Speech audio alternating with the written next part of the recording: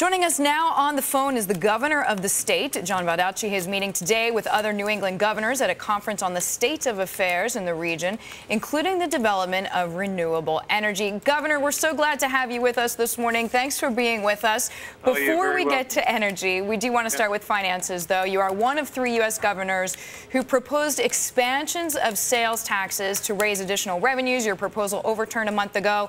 Our states, Maine included, just missing the boat in not taxing services and internet shopping, basically what they can? Well, first, what we were trying to do was we were trying to go towards discretionary spending and reducing the income tax. So it wasn't for the budget to be reduced. Uh, to reduce the deficit. It was used to reduce the income tax burden so that we would attract more workers and more companies and businesses. And uh, we had been uh, very light in terms of our sales tax, or it's been reviewed that way. So we thought it was a way to reduce the uh, income tax. By doing that, it was overturned by the public.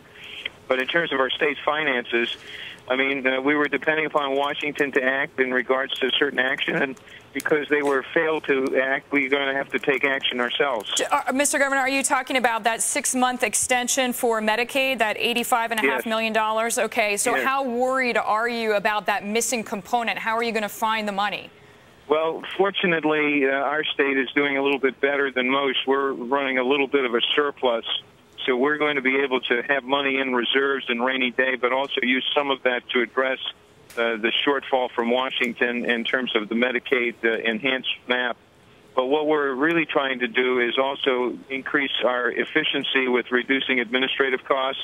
So I'm challenged the departments and agencies to reduce their administrative uh, budgets by about $100 million and to see what they can come back with for results because I think it's the only way that we can, you know, protect the people and still make those critical investments. Governor, in just one word, do, do you think that six-month extension, though, is dead for sure in Congress? Well, uh, we're going to take action, uh, you know, not depending upon it because, you know, in states we're, we're required by Constitution to have balanced budgets, unlike Washington, and we've got to do that. Our fiscal integrity and bond rating and everything else is dependent upon it. Yes. We have to leave it there.